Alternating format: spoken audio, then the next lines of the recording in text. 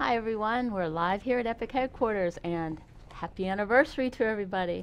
All right. Happy anniversary. We're celebrating 15 years of Unreal Tournament this week, and it, it- so far it's been really exciting. We have some really cool things planned. Hopefully, they all come to fruition. Um, but until then, we're going to have a really cool contest on the blog.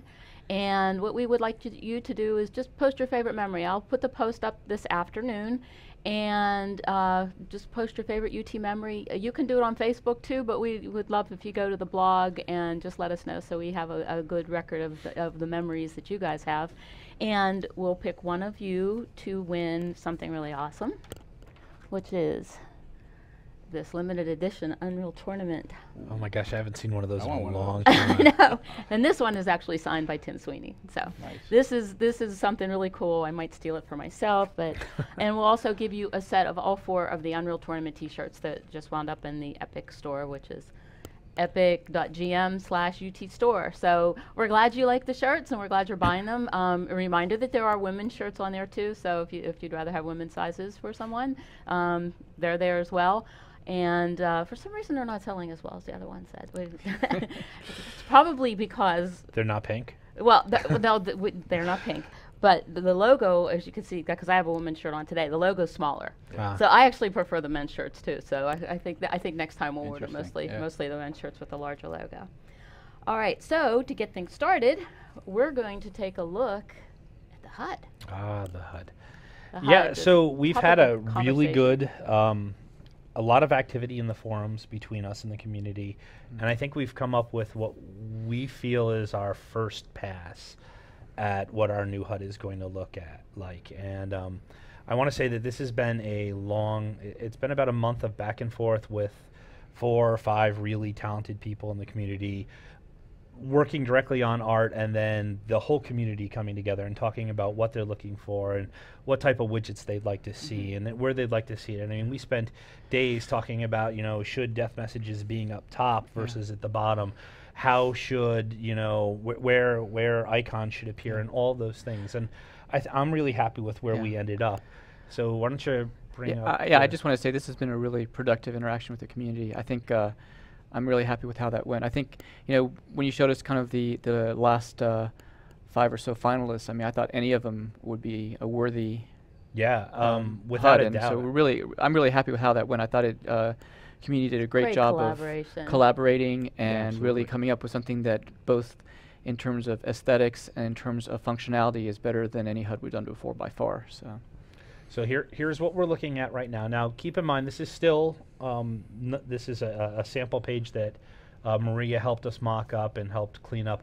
What we did was we took all the elements we liked from the five or six HUDs that were posted by various artists who are out there. Um, and we took elements from each one of them and we said, okay, how can we turn this around? How can we make it look really common across all the, the widgets? And this is what we ended up with some some really nice things. Uh, I, I really love the simplicity of all of these outlined widgets. They're nice. They're high contrast. One of the new features of the HUD system will be all these background slates that you see here. They all have their own individual opacity. So if you think that this is too contrasted, you can drop the opacity down and it'll be almost invisible. And you can keep the text at a different opacity level so it's easy to read the text. So it fits everybody's needs. Um, I'm really happy with where came out.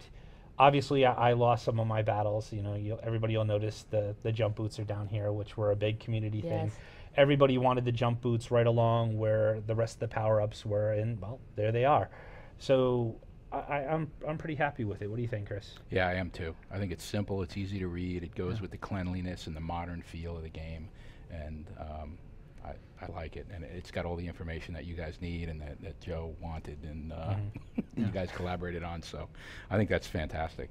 and one of the nice things about this is this is going to be our default HUD, and I, I think we we've got a good base of people out there looking at building their own HUDs, and we're going to be working with them to bring them up to speed and have their own HUD. So you're going to have custom HUDs to work with as well. So if you're not 100% happy with it, that's okay. Our hope is that people will be, you know, creating places or things in the marketplace to help service those people who aren't 100% or who might want something different, who might want additional information. A lot of the, you know, we saw some that had FPS counters over here and you know ping counters and those are things that the average person wouldn't care about but those are great ideas to have in the Right. marketplace and we're just trying to set the initial style here and I'm pretty happy with where we are. So could up. people essentially create themes for the marketplace? you you could absolutely I mean you could build a HUD over uh, based on your favorite sports team if you really wanted to although Right. I mean I don't know if that could end up in the marketplace but you could build uh, clans could have their own specific Right, cool looking right. HUDs that all the clan members use. Yeah, that's, that's what one pretty thing, cool. people were talking about a place for their clan logo to sit Yeah. at the top of the HUD. So when they when they're broadcasting or Twitch streaming their games, that they Mhm. can they'll have their clan logo Yeah. right up there on the top, which Yeah, is a so really really cool idea. We should be able to have all that ability in the HUD um, and all available in the marketplace relatively early on.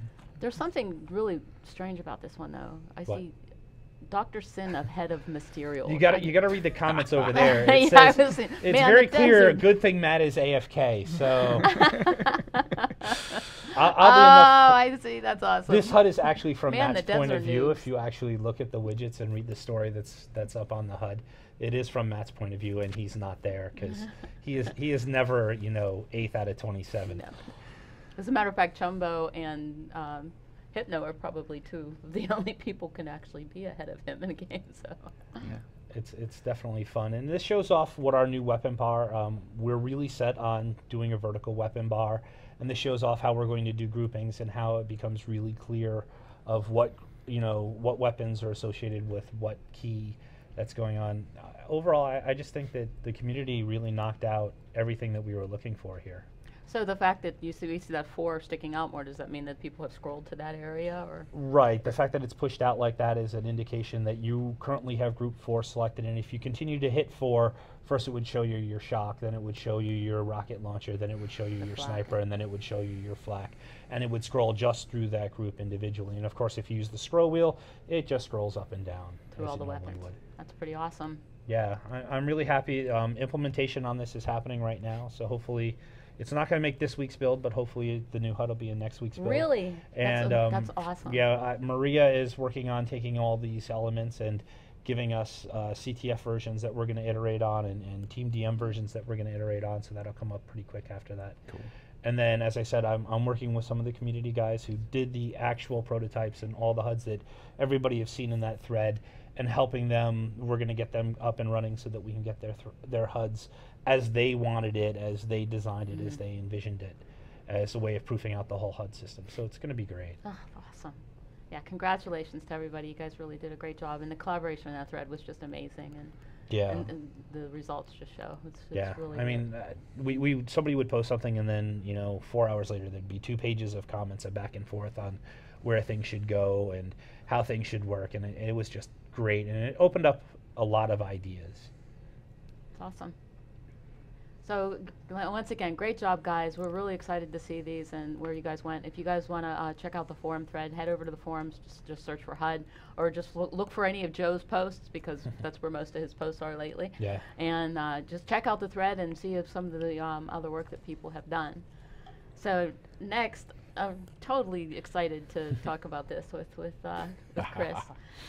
Chris, I don't know if you guys know it or not, but Chris not only is amazing at his, his art that he does digitally, um, doing the characters and everything that he's done through all the you know Gear series and Unreal Tournament, but Chris is also a sculptor, and you have a little studio at home, I've got the Wicked Workshop. the at home, Wicked yeah, Workshop, yeah. and that's another Yeah. thing you can look up. If you look up Wicked Workshop, Yeah. there's a video, actual video out there where he shows the Wicked Workshop. Yeah, Workshop. so I, I do that to kind of calm down from my my crazy day, right? I- I'll go home and just do some traditional work. That's how and he relaxes after It's streams. cathartic, right? I mean, Yes. it's just it's just really nice to actually get your hands dirty and, and, and work with something that's tangible rather than digital that, that goes Mhm. online. So I, I enjoy doing that. And so uh, anyway, Yeah, so Chris works in uh, Super Sculpey.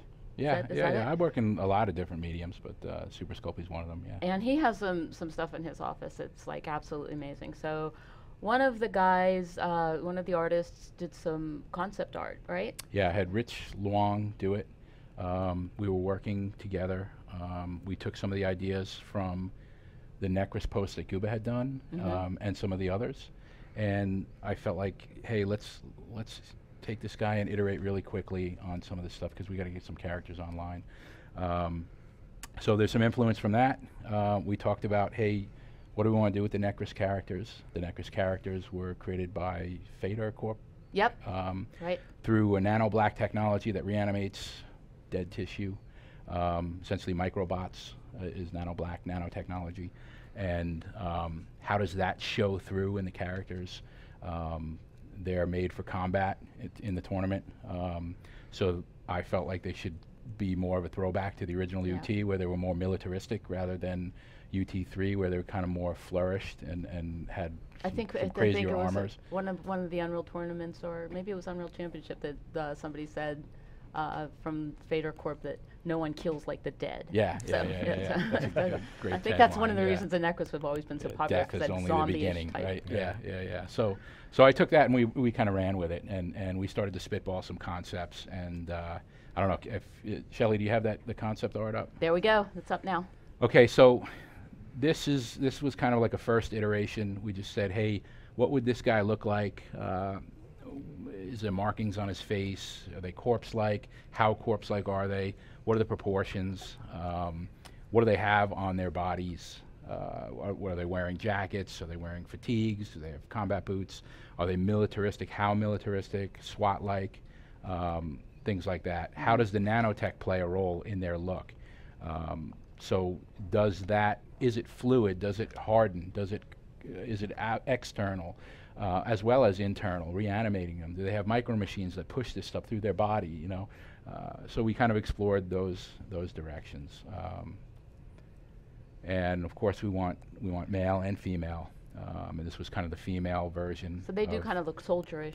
they look a little bit, and this is kind of like the underneath. So this, and again, this is first pass. We, we took this and we said, well, it's a little too stark. Let's let's go from there. So uh, we started to spitball costuming on her, um, and makeup designs and, and, and things like that. And the idea is that the hair and any markings on them would be the nano black showing through on the surface um, in areas. And one one really cool idea w- that somebody had was you could actually we were wondering if the nanotech could grow on them in the game to almost create an armor of the skin, like make the skin armor because it's a black liquid it kind of thing, hardens. external, and maybe normally their faces are exposed, but when they go into stealth mode or, or you know combat mode, it covers up and, and gets crazy. So, um, can we do the next? Mhm.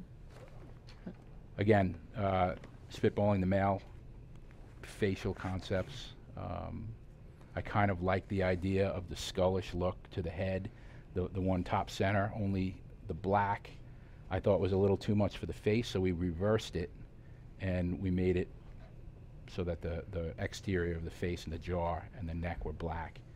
And I really like and it. It has sort of that tribal look to it. Too. Yeah, I like that too. Yeah, zoom in on some of that stuff so that people want to see a little bit more of the detail on that? yeah, sure. Oh, we're gonna have all of these pictures. We're gonna put them up on the blog. I'm gonna do a blog post. Yeah, this and I'll do. afternoon. I'll also do a forum post so you guys can get on there and get crazy with uh, with uh, oh, suggestions no, these, and stuff. These are awesome. Um, I think some of the more tribal ones are a little too much. Um, Yeah. I think Still these, cool, yeah, some of these are kind of neat, but uh, again, some of them might be too much. We, we kind of, we kind of settled on a, um, a simpler combo. If you if you go, something like this, where she's kind of got this nano black creeping up her neck and around her face, and maybe it's through the hair and behind the eyes, and um, that could grow, expand, or, or retract on her flesh as she went through game modes or whatever. Or it could just stay like that, you know, some cool markings and stuff. So down at the bottom, y- I can see like a little logo for. Is that like from the? Yeah, oh, yeah, it's from if, Phayder Corp. If you go back one, so um, this was a logo I found on one of our forums. Very um, cool. Cognizant CE was the Mhm. guy that did it, I, I believe. Um, it was kind of a Raven thing. I, I thought it was kind of, I thought it was pretty neat. What I what I'd like to do is start to brand our factions. Um, you know, that goes for like Iron Guard and uh, Thunder Crash and Corrupt, and the major corporations, Phayder and Liandri. Yeah, that's so that we have an in-game fiction and we have more of a branding that we could use for all kinds of things. Um, one of the things I'd love to re to do is kind of reintroduce these characters to the masses at some point, because there's people out there, you know, my son's age and stuff that don't really know Yeah. uh, UT characters. So, to You have not brought to I, that thi- up, I Not right? think, I think Noke frankly, is. even a lot of people who played UT, right? I mean, we, we've never done a very good job Right. of uh, Yeah. presenting our backstory and kind of building that world. We, Right. we, we allude to it a little bit, but if you're not paying attention. And Now- it's a really cool story. This too. is just what, what you see here is just an example of what I'd love to do. What I what would be fantastic is if the community stepped up and took these and just went all crazy with them. You know, Yeah. Henrik and, and any all those guys. Um, there's a Yeah, lot of talented Iron guys on there. Yeah, a lot of talented graphic designers on there, and and we'll put up a faction list, and and you guys can go nuts with this stuff. But it would be great to brand our factions and have T-shirts with this stuff on, and and you know all Yeah, that. this Yeah, would make a great be- T-shirt. I mean, it's, uh, It Yeah. reminds me of like a, a good album cover. yeah, yeah, yeah. Well, the the wings, I thought I thought it was pretty apropos with the, the he had a it was a raven kind of that he did in alchemy, I think, with the with the wings and stuff, almost like a Rorschach uh, thing, and it was it to me it signified resurrection, right? Yeah. Which to me is what the necklace is. Yes. Um, this is so really I, I thought that was pretty neat. Uh. So again, spitballing the female. Um, I see what you're saying about how you uh, you inverted this with that other guy. Yeah, and yeah, yeah. I think it definitely shows. It just makes a cooler skull pattern on there, and, and it's it's a nice feel. Um, to me, these are these are almost what Darth Vader should have looked like with the mask off, right? I mean, these Yeah. are these are just cool Oh, yeah. characters. I, I, I like them a lot. I, I think some of these are overdone with the with the facial effects again, but uh, there's definitely something there. We're still, you know, we're spitballing costuming and, and things like that. Um, you know, what kind of clothing and, and stuff. But this this guy. this guy really resonated with me. Um, everything black on him is kind of the nano black, and the idea is that it, it protects his organs from damage, and the white stuff is is kind of a pale flesh, and would be real subsurfacey and, and, and things like that. Um, and they've got these little kind of micro machines in them that course that fluid through their bodies and, and you know make them internal and external. I think that's it. Yeah, that's it. So, uh, so, I got real excited about these concepts, and uh, and over Thanksgiving break, what I did was um, I actually over Thanksgiving break, which, yeah, which amazes Yeah, me. Yeah, well, I actually did a little sculpt on one of these guys. Ah. So I don't know if you guys can see this. Shelly, you on camera two? Oh gosh. So this is a uh, this is done in Super Sculpey, and it's kind of uh, baked and you know it turns into a plastic. It's a polymer clay, and you can you can sculpt really quick and soft things with it, and then kind of bake it out. And so what I did was I sculpted it, and then I, I painted it. I used some little model parts from a tank and the decals for uh, some of the markings on him and, and stuff like that. And uh, it kind of gives you an idea. I like to do this with our stuff because Yeah. it gives me an idea. We hey, like is this you do it viable? Will this really work? Like, how does the Mhm. paint scheme work? What What are the material types? Like, we I have all love these the PBR zombie materials blue and gray stuff. over here in the veins that you can see. Going Yeah, through. so I, I, if you can see I think on the camera. I think as a, as it would be really cool to have the contrast of this dead pale uh, subsurface looking skin with this Yeah. really uh, shiny nano black um, external kind of armor coating or whatever it is, you know, on these guys. So um, Well, it's absolutely incredible, and it, it to me, it just like, oh, oh look, it's Loque.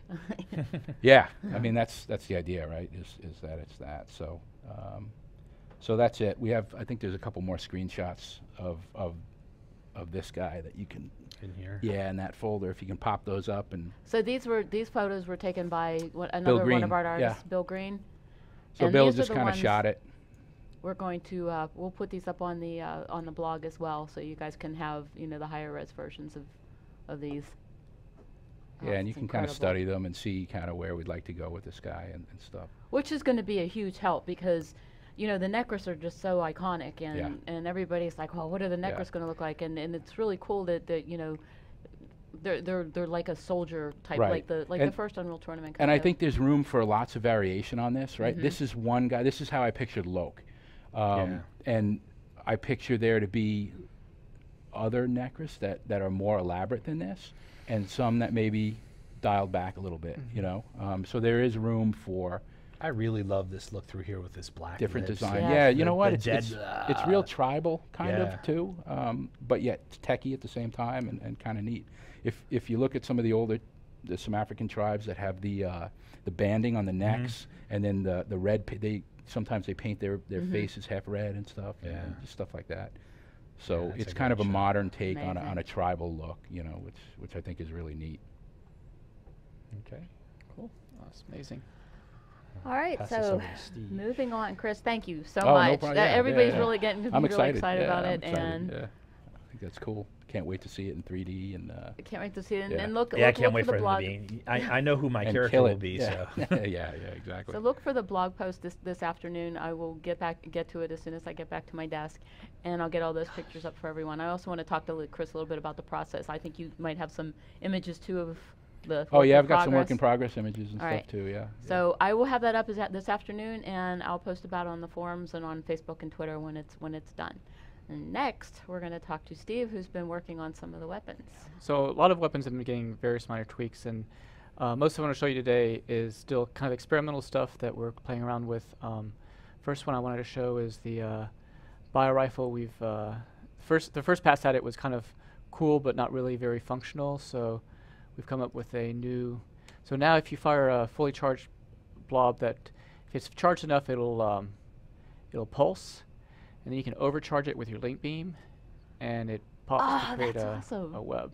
So that's a little that bit, yet. and you can also like you can you can overcharge it and leave it not completely charged. So you can set a trap and then do the final bit of charging to to to spring it. As somebody's running through yeah, it. somebody's running through it.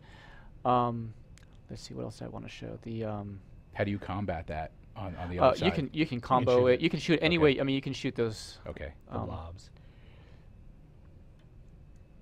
so What I really like or about you this- can, you can shoot a combo. It's just it's really Yeah. something that's meant to either be a trap where you, you find a, s- a Mhm. situation where they can't see it, where the, the guy that's coming around the corner can't see it, or it just slows them down. So I can imagine like in CTF, and it's yeah it's a it's a kind of a two weapon combo, but I could certainly see that being something cool, like in uh, like supporting a flag carrier with the flag carriers Sure. laying down these blobs as they're running away, and then one of their support guys is overcharging them and causing webs and kind of slowing down the. So the Very other thing. I've been playing around with is the um, minigun shard, and so now we've got it sticking in walls again. Um, last week's build had um, the shards actually had blocking collision, so you could jump on them, and but they would also block other players, and especially with uh, high ping, it was, cau- it was it was difficult to handle the issues with uh, how that felt. So now I'm trying something new this week, which is just um, basically make them explode on contact, but toss you up, so you can kind of use them. Whoops, I didn't get all the way up. You have to. I'm not very good at this, and I'm functioning on lack of sleep. But um, New Ah. baby. oops, and I killed myself. Oh, I need to. In God mode. Um, anyway, so the idea is it's it's another it's another way of uh, um, of getting around the level, and also it's basically kind of a short it's a, a short-lived um, trap that you can set for people, and that they if enemies run into it, they will also blow it up. Then the last one I wanted to point out was the um, go this way. Sorry, Ah, I'm not, just not familiar with this level yet. Really? um, is the Redeemer. So the thing that we've done here, Has gotten rid of the giant piece on the bottom. well, first of all, yeah, the the, the Pete did a nice job of kind of cleaning it up a little bit so that we could move it forward. So the um, the big thing now is, so we already had changed it so that when you die, even if you not don't have the Redeemer out, you drop it. he typed behind you. Oh. But um, the other thing we want to do is make it visible always. So it's a new feature of weapons that you can have them. And of course, it's not working. Oh, because I've got so it's out right now. If I switch to my enforcer, then the redeemer oh, it goes on your back. That's on my awesome. back. So that way you can always tell if somebody's got a redeemer and you know they're going to drop it. So if, for example, somebody's uh, trying to go into the enemy base and, and spike a redeemer in their in their flag ba- in the flag room, um, the other guys know that that's happening. It, it makes it a higher risk maneuver. It gives you a, a good way to um, to try to prevent it or fight it, and then you get the advantage of if you kill a guy carrying the redeemer, you get it. Yeah, I love that it makes it. He just becomes a big target. Everybody be targeting him, looking for his redeemer. That's great. Yeah. So, um, so those are a few things. There's a lot of other um, minor tweaks we've been doing, and uh, that's really uh, I'm going to keep working on fixing networking bugs and focusing on starting to get the uh, weapons a little bit more balanced and polish up the new functionality. All right. So uh, be sure to join uh, the Unreal Engine stream tomorrow. I, um, unfortunately, I don't know the topic uh, because at last minute I got a message from Chance saying that's not the topic. So um, just just check the uh, Unreal Engine forums. There's a, a big sticky post on what, what the uh, Yeah. topics are going to be tomorrow. So make It'll sure be you real interesting. Um, with Unreal Engine, also uh, 4.6 is out today. yes, Um, that's right. It came out I this morning. I think we should. I think our next build. I think we're upgrading now. Did Pete already check that in? Uh, I think he was so- looking at it and Yeah. he's trying to download it right now, so or So. get it or something like that. Yep. I'm looking at Zach because he usually knows these answers. Well, yeah, I- I think we were on preview last build, but we didn't release last week, so now we're. Yep. Okay, Yeah. so we'll, that'll be tomorrow. We'll be ready to go. All right, everyone. Thank you. We'll see you next week. Thanks a lot. And See make you. sure you Bye. join you us on the forums and let us know what you think. We'll talk to you soon. Bye. Bye.